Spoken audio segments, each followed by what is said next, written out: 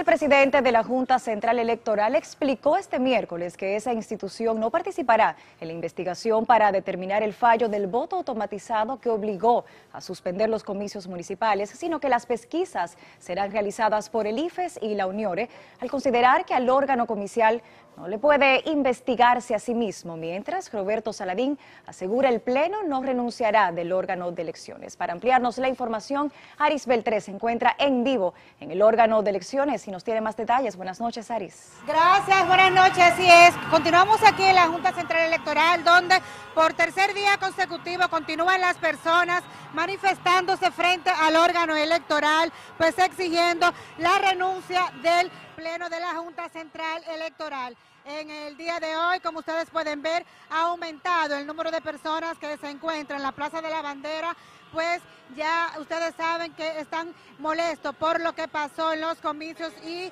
eh, el sabotaje que se produjo o el supuesto sabotaje que se produjo en los comicios municipales del pasado 16 de domingo. Con pancartas en mano pueden ver ustedes cómo está pues completamente llena la plaza de la bandera aquí frente al órgano electoral, contrario al día de ayer donde los manifestantes pues salieron a la vía hoy, se han mantenido en calma, están las vallas los militares que tienen el control y estos no han podido pues pues hacer taponamientos ni mucho menos paralizar el tránsito como en el día de ayer. También hay que destacar que el pleno de la Junta Central Electoral se reunió por aproximadamente ocho horas con las organizaciones políticas en una audiencia pública que fue convocada de urgencia con todos los partidos y informó el presidente del órgano electoral que nadie se irá de este organismo a pesar de las solicitudes de diferentes sectores que han pedido que voten gente y corten cabezas. También el magistrado Castañas Guzmán dijo que... Eh, los que piden su renuncia pues pueden acudir por ante la Cámara de Diputados y solicitar un juicio público. Vamos a escuchar las declaraciones. Cuando las cosas salen bien, salen bien. Pero cuando las cosas salen mal, lo más fácil, y lo más fácil para mí sería, sobre todo, echarle la culpa a alguien. Me he pasado el día recibiendo esta, este consejo. Voten a alguien, córtenle la cabeza a alguien. He escuchado otras voces, renuncien, váyanse de ahí. Eso también es lo más fácil y lo más despreciable y miserable también, porque eso es una manera de no asumir las responsabilidades. La manera de salir de aquí es con el juicio político, por falta grave. Y el que sienta que lo tiene que echar adelante, que vaya a la Cámara de Diputados y proceda, y rápido. La Junta Central Electoral, que ya lo había pensado, dispuso una investigación. Esa investigación no la podemos hacer nosotros mismos respecto de nosotros. Le hemos pedido a AIFES que nos auxilie en eso. Número uno. Número dos, también le hemos pedido, pedido a Uniores que la haga también, no concurrente con AIFES, concurrente con AIFES, pero no integrado, que sean dos cosas diferentes. Igual, le hemos pedido responsablemente a la Organización de los Estados Americanos que le dé permanencia a su misión de observación electoral y de acompañamiento. La Junta Central Electoral no se resiste a ser acompañada. Saluda el acompañamiento y lo necesita. Presentarse hoy diciendo, nosotros no somos los responsables, esa es otra irresponsabilidad. Esto ha ocurrido aquí.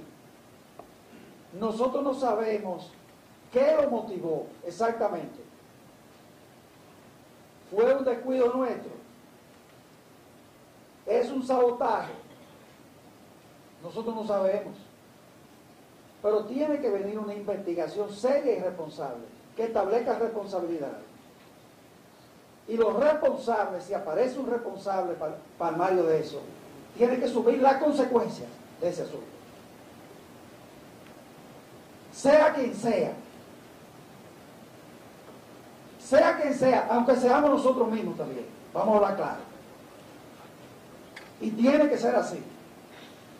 Y presentarse de aquí rehuyendo una responsabilidad es un acto deleznable y despreciable también en la democracia. Es una responsabilidad de nosotros.